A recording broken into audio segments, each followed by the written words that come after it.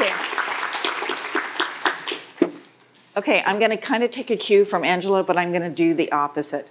Um, I find that I'm a little tall for the podium, so I'm taking my shoes off.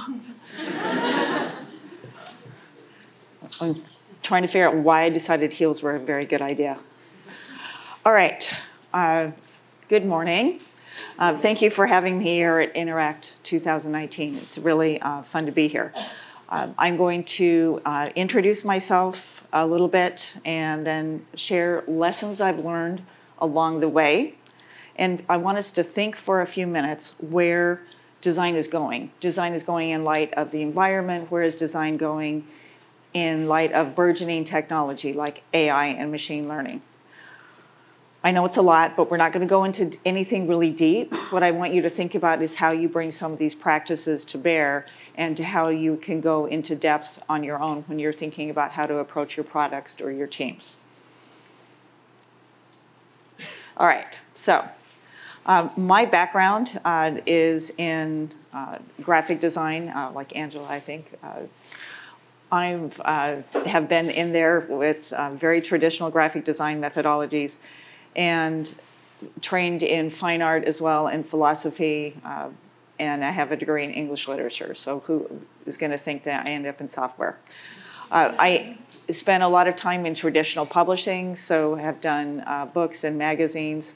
I did high-end documentaries on CD-ROM, a company called Corbis that was owned by Bill Gates, where uh, before we did Stockhouse, uh, which uh, this uh, background told me the importance of creating those emotional hooks, some of those editorial and filmic sorts of attitudes. And I haven't thought about this for the longest time, but I was when I was at RGA, I did the very first medical site with Novartis, and it was uh, sort of unheard of for pharma to have any sort of presence in the internet and any sort of conversation with consumers. So I haven't thought about that for a long time. Uh, so this is the first lesson then. What you need to bring when you think about your reader, your viewer, your user, is you need a sense of storytelling. So that's the first lesson. But it's also a way of thinking about galvanizing and motivating a team. So whether you're managing or whether you're leading or whether you're dealing with stakeholders, especially with stakeholders, it's a way of bringing them along your journey and what you're trying to achieve with your team. My background's in software, so I spent uh, 15 years at Microsoft, all told. Uh, I was uh, the user experience director for Microsoft XP. Uh, I was the first director to combine research with content, with design, and understanding that we needed that quant and qual, and I'll talk about that a little bit. I started the first ethnography team at Microsoft. I was at Office 365 and I shipped the first cloud offering for, for Microsoft. And then uh, worked on Microsoft Surface. This was the, I don't know if people remember this, but it was called the Big Ass Table. Uh, and it uh, was the first time that Microsoft, well, and a lot of other um, people in technology were exploring multi-touch. So how do you uh, do, this was uh, through occlusion, but how do you handle the social and the mechanical of having multiple people interact with a single surface with their hands? Um, I've lived in Thailand, in East Africa, in South Africa, in Jamaica, and I've lived and worked in Idaho and Utah, and Seattle, New York, uh, Chicago, and in the Bay Area. And so uh, all of this uh, for me meant I really loved uh, travel and learning new languages and culture. So it's not uh, surprising that I ended up at Booking. Uh, to uh, to be able to live and work overseas, if you ever have an opportunity, definitely take it. If you um, have a chance to go to new countries and new kinds of businesses. I know Booking.com is not the best looking site nor the easiest to use, but there's there's a reason uh, there's a reason that I'm there. So I'm part of a design leadership team that was brought in to really change things, to change the way we thought about product, to change the way we think about uh, approaching user experience. Booking was built on years and years and years of optimization. It is A B testing to the max. And it is done by very independent teams who manage about this much of the experience. And so we are now moving to a place where we can use optimization to some point, but we've learned that we have to think much bigger because even uh, I think about stakeholders. I had uh, one of the SVPs tell me what I know. I mean, he's literally saying, I know, I know, that what got us to where we are now will not get us to where we need to be. And for a long time, Booking was very successful. Booking Holdings made $14 billion last year. And so they have a lot of faith in this methodology. So we're going to have to work through change to make sure that we provide the right kind of support for customers and the right kind of support for the employees.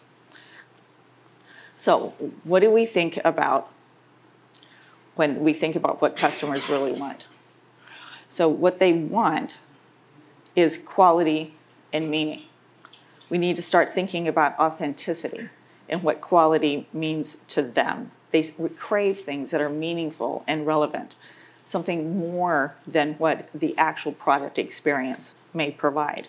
So we need to think about things like Lloyd's here in London is uh, providing new services and new insights to make things easier for people to save money and manage their life and manage their money. It's a whole lot more than thinking about banking as a place to manage your credit card or your checking account.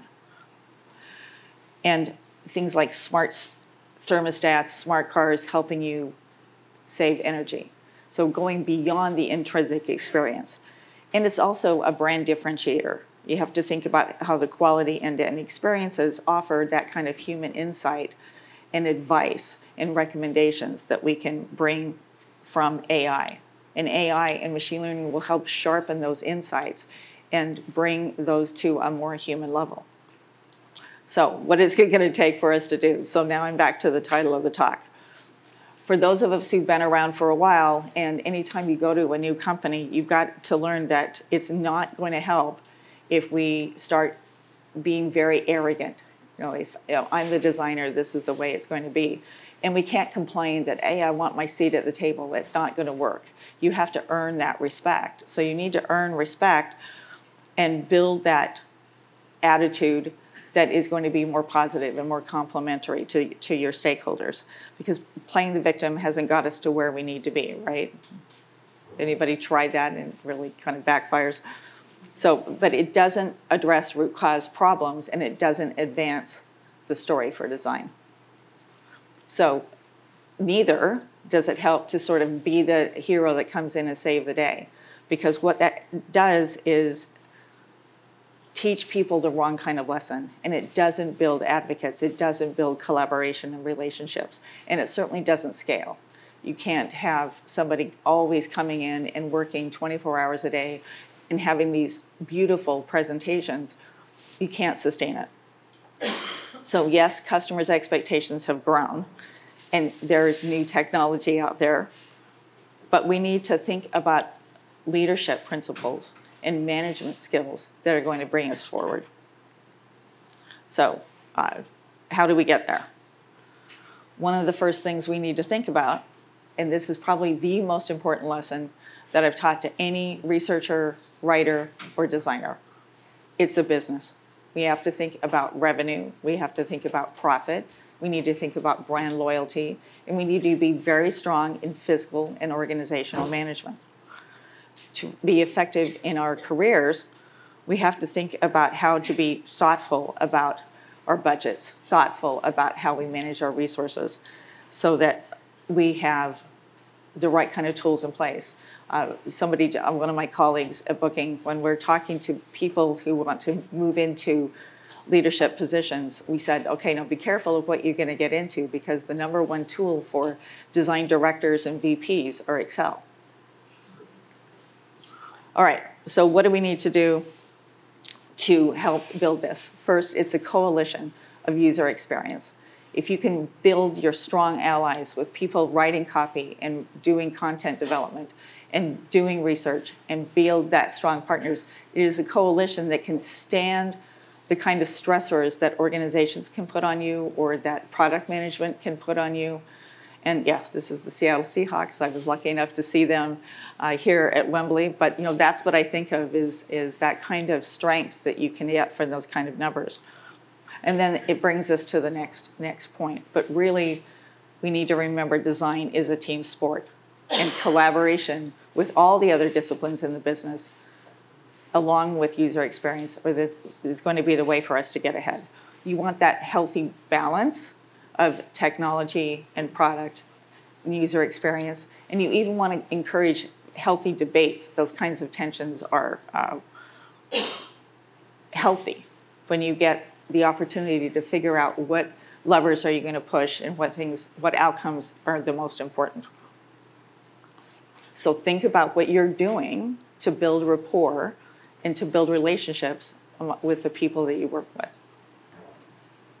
All right, so related to this is when you think about the balance of tech and product and user experience, and you think about the relationships you're building, it's really important that you take the time to make sure you're on the same page, that everyone is aligned. And you do that through co owned principles and metrics and priorities. So that way you know how to do the right kinds of decision making, you know how to do the right kind of resource allocation, and it sets the standard for quality together. Does that make sense? Okay. All right. All right, so when you think about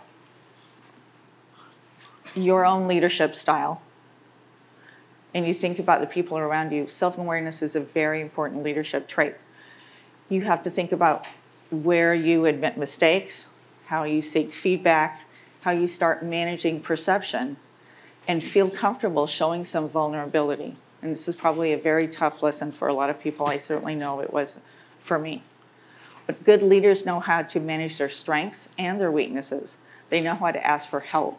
And they know how to bring people around them who are actually stronger and more skilled at places where you might be weak.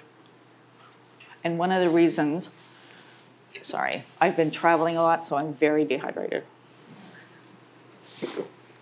One of the reasons it's important to think about being self aware is that you want to establish for you and for your team a growth mindset. And a growth mindset, how many have heard growth, growth mindset? Okay, awesome. So it's the position that is better to inhabit a position of learning and constant improvement rather than stick with a fixed point of view or a fixed set of skills. So if you think that you're always growing your career and your team should always be growing and though your approach to product should always be evolving. Uh, Carol Dweck from Stanford University has written about this a lot. And she reminds us that in the growth mindset, failure can be a painful experience, but it doesn't define you. It's a problem to be faced, dealt with, and learned from. And statistics show that, especially for creatives, that impediments and challenges help us grow the most. So lean in to times where there is opportunities for you to grow or to help one of your colleagues grow. And for your teams, start setting expectations of year over year growth. That means for yourself, for your teams, for individuals, you expect more for them the following year than they did in this year. And you can do that by setting meaningful and relevant challenges so that their stretch goals are achievable and meaningful, and you're helping them marry their aspirations with where you need to take the team and the product. And we have to communicate those insights. So we need to be really good about having breakthrough conversations. We need to be very comfortable with candor and let people know where we stand in an appropriate way. You need to be transparent about your values and your expectations and the observations that you have. This is a dialogue that you want to, and you want to make sure you're listening for other people's point of view and that you're providing that timely feedback and gratitude to those around you. And even if it's critical feedback, but one of the things you want to make sure that you keep yourself honest with is that if you are managing someone or you're going to give someone uh, very critical feedback during a performance cycle, you want to make sure you do that early. You want to give a chance for people to have a course correction if they are not going down the right path. It's not fair to anyone for you to hold it back and surprise them during their, their performance review. And another way to, uh, to think about role modeling the right behavior is avoiding gossip. Now, for me, it's, it's a slippery slope. I've been guilty of it myself, and it feels good for a time. But really, if you can think about how you model that for your entire team and avoid it altogether and encourage people to talk with people instead of about people. So, in our environment, uh, it's pretty fast paced, and there's ambiguity and change everywhere, and that introduces stress. But we have to be comfortable with the grays. We have to think about how we embrace the unknown to be adaptive, to be flexible, and to be able to make decisions without all the right information. That's what leadership is, and that's actually using design centric sorts of thinking and analysis. So that remember that anytime you're feeling that ambiguity and change and stress, those are opportunities. And there's opportunities for innovation, for you to build your career, for you to bring some clarity. So as you go about doing your job, think about am I asking clarifying questions? Am I helping move the team forward? Am I breaking down this ambiguity and showing the right kind of leadership and strength that it will take to keep the team moving forward? And so another thing to think about is are we at an inflection point? Is this an opportunity for us to rethink the product, to rethink the team, and so what I think about is how do we show elasticity? I think about it when you are in design, you think about the big picture and you think about the strategic point of view and you think about the whole. Then the next minute you're sweating the details of every pixel and every word. And being able to go back and forth is a unique skill because designers and researchers and copy need to think about that. So this is what I call elasticity. Get really good about going back and forth and know what kind of altitude you're functioning at. So think what kind of conversation am I having? Whether it's with designers or your stakeholders, am I having a strategic conversation or is this about iteration and polish? But again, get comfortable going back and forth. So courage and conviction are very related to principles. They're very related to self-awareness and storytelling and responsible design. And we'll talk about responsible design in a minute. But you must have a clear point of view. Take a strong stand so that people know where you're coming from. And this kind of strength and conviction is contagious. It helps bring people along with you. They know how to have their own kind of uh, way of approaching their fears and ambiguity designers can be very strong change agents. And so using courage and conviction, using influence without authority can help move the team forward, help move the product forward. But it's our job to take a stand and have a strong point of view about where the business should go, where the experience should go. If you want to be a leader, whether you manage or not, this is a very important trait. So, one way to check in on your career one way to check in about where you're going from a product point of view is to make sure that you're taking time every week, it's what I call a, a weekly audit. I've got to the point where it's just kind of rote. I do it first thing Monday morning. I have calendar time blocked off so that I can think and ease my way into the week. But I ask myself, are there is there a product or feature set that aren't going in the right direction? What am I going to do about it? Have I been avoiding having a very tough conversation? Well, I've got to get that on my calendar. Is there anyone who needs that course direction? Is there a superstar, someone doing great work that I haven't expressed the right kind of gratitude and recognition? So, this is a, a practice that will think about where you need to go this next week. And is there a place where you need to roll your sleeves up and jump in and say, I'm here to help? Also, this is a time to spend maybe once a month a little time on your own career. Where are you going with your trajectory? Am I meeting my own goals? Is this time for me to do a reset? And because if I'm not going where I need to be, what am I going to do about it? So now let's turn to AI machine learning a little bit. And we think about how design uh, plays there. So in technology in industry, there's been a seismic shift.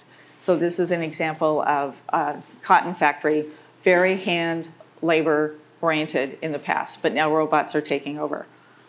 So what does that mean? Connected devices can communicate with each other and they can automate a lot of functions that are critical to moving businesses forward. But in fact, people are worried that this is going to replace jobs, that people are going to be out of work. Deloitte did a study that says 800,000 people were displaced by robots and automation. Yet, they said that 3.5 million newly high skilled jobs were created. So I think there's going to be a role for design and research to play when we come to how we're going to look at the larger picture of AI. So Dr. Kai-Fu Lee was a colleague of mine at Microsoft. Uh, he's an AI expert who did the first speech recognition software. He looks at it this, if you want, you can find his TED talk um, on this very subject. And I wrote to him and I said, can I steal basically, uh, I recreated it, but still steal this idea from him. So AI is not something to fear, it's something that is going to take over repetitive, boring jobs. And uh, I have a colleague who says, uh, when you get back, I have a bone to pick with you about these slides because I shared them with him. He said he believes that design is going to be more, uh, more affected about automation. But Kai-Fu Lee's position is that from a creative and a strategic point of view, you will always need humans that are going to do that kind of interpretation. What he says is AI cannot analyze, synthesize, empathize, or realize the way humans do. What he says is machines can't love. He goes on further to speak about how AI can support these routine jobs and, op- and optimization so that you see a lot of very repetitive, boring things. Yes, AI can help with that. But he points out that compassion and creativity are always going to be human endeavors and that creativity and strategy are going to be the differentiators on how we make AI and machine learning work for us. So there you see that uh, here's some of the areas that are related to us.